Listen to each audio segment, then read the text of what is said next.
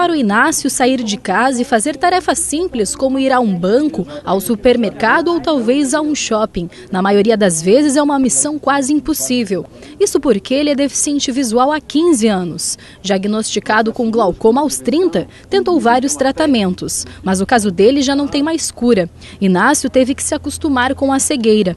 E para ajudá-lo, assim como a outros deficientes visuais, foi criado o Via Voz, um aplicativo que pode ser baixado gratuitamente pelo smartphone ou tablet. O software é programado para guiar o deficiente visual em locais de grande circulação, facilitando a rotina de quem possui alguma limitação. É no dia a dia que o Inácio e os mais de 6 milhões de brasileiros que possuem algum tipo de deficiência visual sentem as dificuldades em relação à falta da acessibilidade. O aplicativo é uma ideia inovadora e que promete melhorar a qualidade de vida de quem precisa desse auxílio. A nossa luta é justamente nessa questão da mobilidade e acessibilidade. Né? Mobilidade para as pessoas com deficiência é importantíssimo, né? porque as pessoas também têm que ter toda a sua vida normal, né?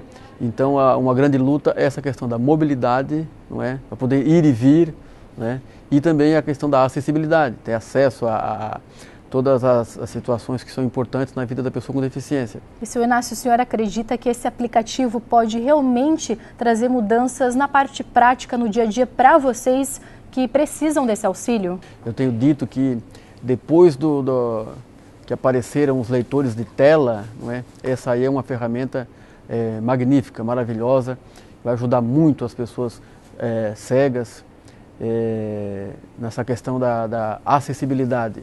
Né? Nos lugares onde nós vamos implantar, com certeza as pessoas terão muito mais é, dinamismo, serão muito mais autônomas, né? aplicativo fácil, é, tranquilo, ele é grátis, essa proposta do aplicativo está sendo testada na Assembleia Legislativa em Florianópolis. Na manhã dessa quinta-feira, o diretor do projeto, Rodrigo Caporal, apresentou a ideia aos representantes do governo.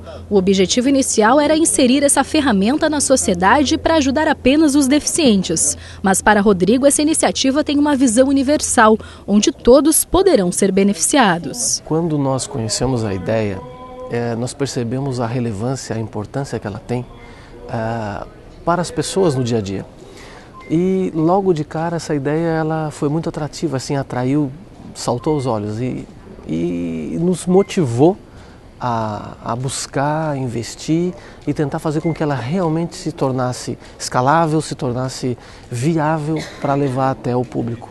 Para o arquiteto da Assembleia Legislativa, essa inovação, além de ajudar quem precisa, vai contribuir muito para facilitar a rotina das pessoas. Com o aplicativo na mão, basta um toque para saber onde o usuário está e também para onde quer ir. A ideia do teste, eu sugeri o teste de forma de que o pessoal da Assembleia conheça o sistema e também a gente poder aprimorar e né, e todos conhecerem esse produto, que eu acho que é inovador e muito interessante para a população em geral.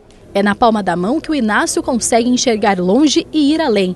Para ele, esse tipo de ideia deve ser fortalecida. Afinal, todos têm o direito de ir e vir. Eu vou sacar o meu smartphone e o aplicativo já vai se manifestar, vai falar comigo de, né, de, em alto e bom som.